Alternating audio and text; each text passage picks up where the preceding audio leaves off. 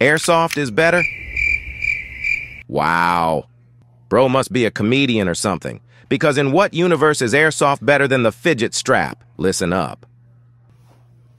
Don't! Firstly, the fidget strap is way more fun to play with.